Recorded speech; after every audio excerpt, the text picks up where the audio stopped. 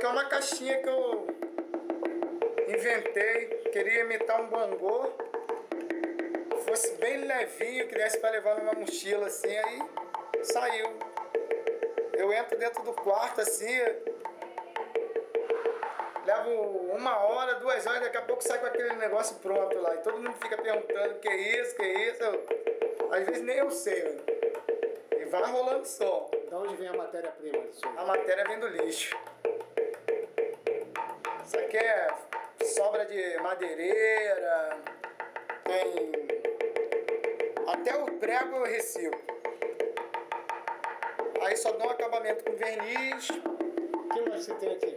Eu tenho um outro instrumento aqui que eu tiro um somzinho também. Tipo um xilofonezinho. E bambu. Esse aqui eu. Eu não inventei não, mas eu aperfeiçoei ele. O primeiro que eu vi era muito. não tinha muito som muito apurado não.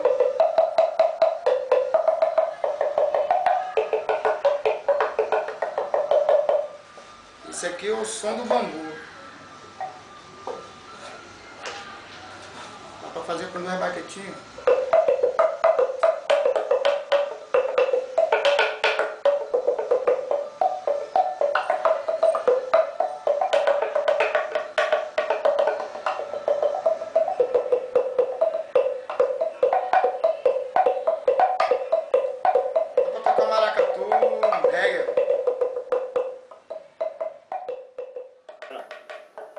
Aqui em casa, aqui dentro é um brechó, tem roupa indiana, tem roupa para todos os gostos.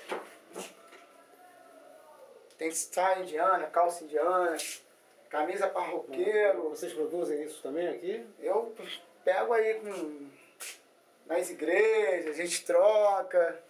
Tem abajur de casca de palmeira. Esse móvel aqui também é dos anos 60, restaurei para trabalhar. Cadeira que jogaram no lixo, não sei como fizeram isso, é uma cadeira tão bonitinha. Tem meus quadros. Tem uns quadros que eu faço, que eu pinto no violão, a, a janela de novo. Fiz esse quadro aqui, tenho o maior carinho com ele da Lapa.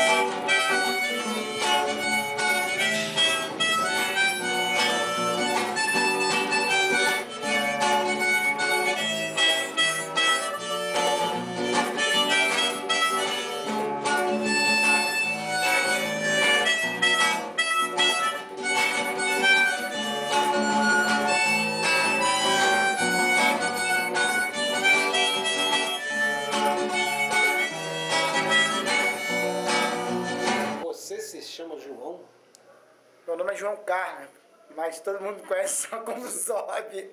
Zob é a mistura do mob, entendeu? Com a outra coisa que o cara não sabia o que, que era. Ele falou Mob Dick, mas eu vou botar um Z, vai ficar um Zob. Foi o Cláudio Mota que fez isso. Ah, isso aqui é semente, né? Isso aqui é um, por exemplo, isso aqui é cabo de vassoura. É. Que a gente acha por aí As no chão. As, pulse- é, as pulseiras são forradas, reciclado, né? A pulseira que já não usa mais, que saiu de moda, e a gente recicla, faz uma customização. Né? Aqui também a gente usa muita Tem coisas semente. modernas também no meio. É, semente de açaí, um pedacinho de bambu. Isso aqui não, isso aqui é de plástico. Mas a gente usa muita semente. Isso aqui é pouquinho, de pouquinho, semente de pouquinho.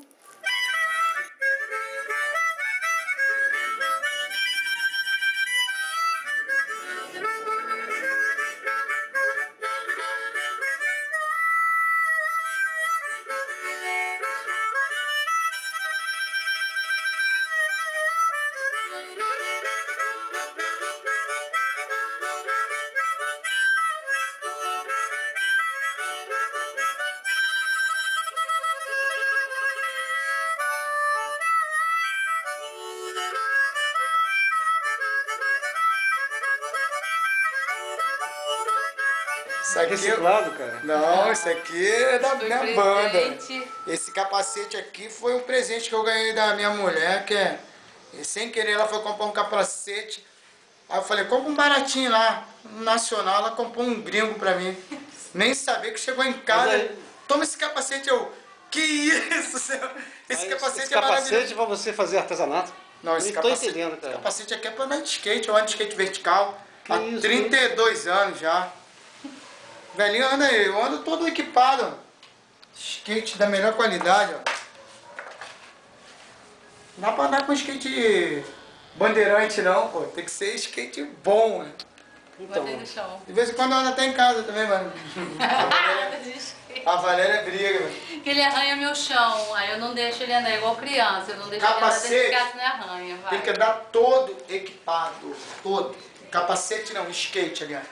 Tem que andar todo equipado. Usar as cotoveleiras. Joelheira, tudo isso. Senão você não está praticando o esporte certo. e onde é que você anda de skate? Pô, eu ando Rio Sul, várias pistas. Tem uma lá em Paciência. também. Paciência. Então, vamos até Paciência, então? Vamos andar lá. Vamos lá? Vamos lá, filmar lá. Vamos nessa, então. Vamos nessa. Ô, por que você é um artista, Zóbio? Sou um artista porque minha avó falou que eu era artista. Quando eu tinha seis anos. A molecada fazendo os desenhos na escola, tudo errado. Eu comecei, desenhei logo, desenhei logo uma, uma tigresa. Aí ela falou, caraca, esse menino é um artista. Foi a pior coisa que ela fez na escola. No outro dia eu tava desenhando pra todo mundo. Aí eu comecei a cobrar. Era muito desenho. Mapa do Brasil, então. Já é Segunda, no né? É, bem terceira. pequenininho. Já é no capital.